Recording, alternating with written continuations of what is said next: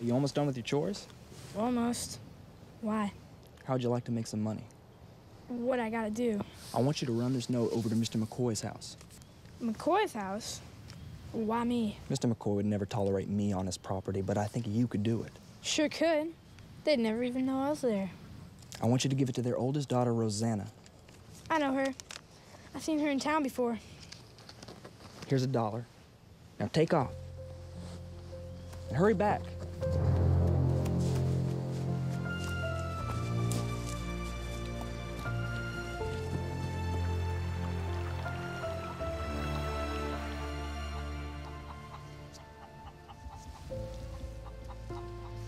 Psst.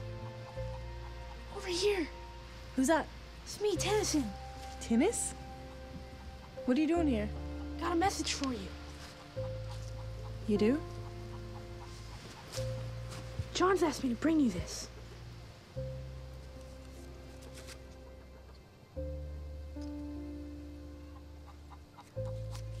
Well, you might tell him I received it. Yes, ma'am. We better get before your daddy misses you. I'm getting.